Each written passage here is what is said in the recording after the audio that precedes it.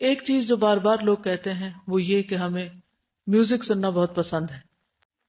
और उसके लिए वो दिन रात और हर हर मौके पर अपनी खुशी का अहतमाम म्यूज़िक या मौसीकी सुनकर करते हैं। बाज को आपने देखा होगा, गाड़ियों के अंदर इतनी ज़ोर ज़ोर से म्यूज़िक लगाया होता है कि वो उस गाड़ी के अगर शीशे बंद भी हो तो यूँ लगता है कि जैसे वो फट जाएगी और फिर दूसरी गाड़ियों तक उसकी वाइब्रेशन आ रही होती बज़ाहिर एंटरटेनमेंट है लेकिन हकीकत में इंसान की सेहत के लिए नुकसानदेह है।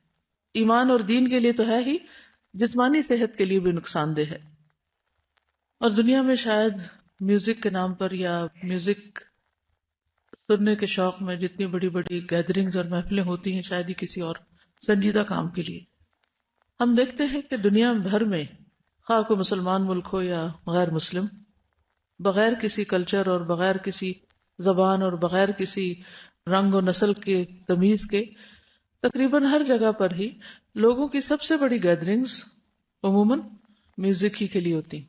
हज का इज्तम एक अलग चीज़ है, लेकिन बाकी जो इंसानों की गैदरिंग्स हैं, इकट्ठ होना है, इज्तम है, वो एंटरटेनमेंट के नाम पर सबसे ज़्यादा होता है और उसमें नंबर वन म्यूज़िक है।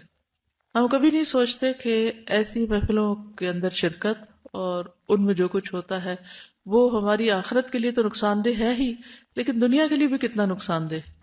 मसलन कॉन्सर्ट्स में खसूस जो म्यूजिकल रॉक कॉन्सर्ट्स हैं, इसमें अगर कोई शख्स स्पीकर के सामने बैठा हो, बिल्कुल करीब, और वो धमाके पूरे पूरे सुन रहा हो तो सिर्फ़ साढ़े सात मिनट में उसकी समात खराब होना शुरू हो जाती यानी उसकी हेयरिंग को नुकसान होता है, और ये डैमेज रिवर्सेबल नहीं होता। कानों को जो नुकसान हो चुकता है उससे वो फिर ठीक नहीं होता।